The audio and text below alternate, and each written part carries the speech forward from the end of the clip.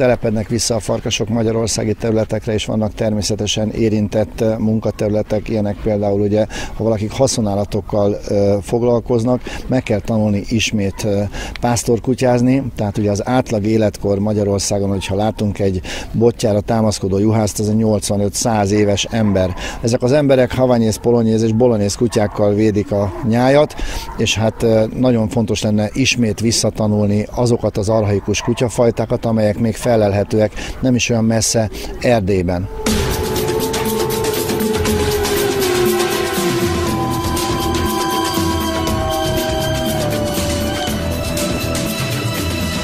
különböző népeknek különböző kutyatartási és kutyahasznosítási korszakai vannak. Ez, ennek során nem fajtákat tenyésztettek, hanem munkatípusokat. Mindegyik munkatípus a farkasoknak valamilyen ösztönvilágára szelektált kutyákat hasznosította.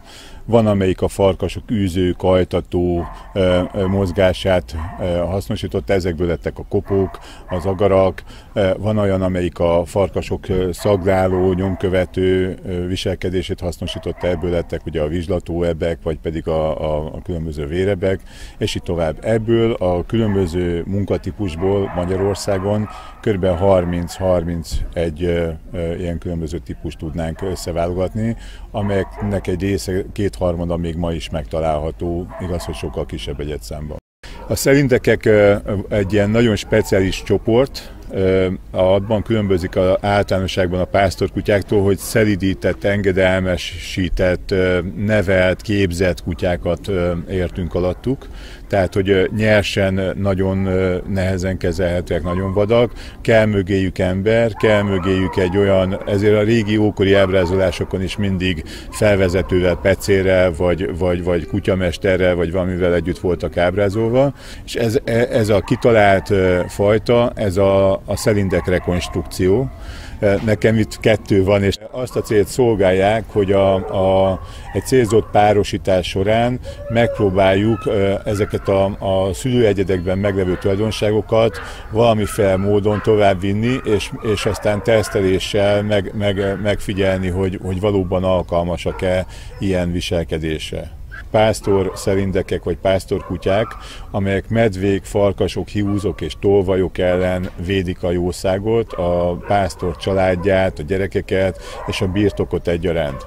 Ezek a pásztorkutyák, ezek nagyon eltérnek a szokásos fajta képtől, nem egy-egy egyed végzi ezt a munkát, hanem, hanem akár heterogén, egymástól eléggé eltérő egyedekből álló falkák.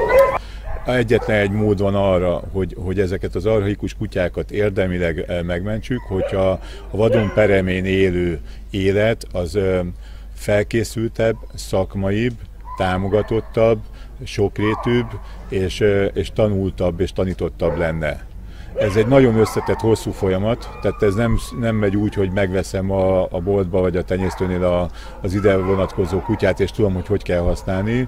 Nem megy úgy, hogy bejön egy farka Szlovákiából, és ő egyből egy kész falkát kiránt a hóna alól, hanem párhuzamosan ezt össze kell építeni. Ebben a munkában nagyon-nagyon fontos az, hogy testközelből ismerjék a döntéshozók is, a közvélemény is a farkasokat, ne ellenségnek tekintsék őket, a pásztorok sem ellenségnek, hanem ellenfélnek tekintik. Tehát, hogy a, a, mi törtünk be azokba a természetes közegekbe, a, a, ahol, ahol a vadak éltek. Ez nem egyszerű tiszteleti dolog, hanem hogy a mi lépéseink sokkal kezdőbbek, mint a csúcsragadozóké, sokkal kevésbé csináljuk jól. Egy okos rendszerben a csúcsragadozó és a pásztor, eh, tehát az emberi szelekció és a természetes szelekció egymást segítő munkát végez.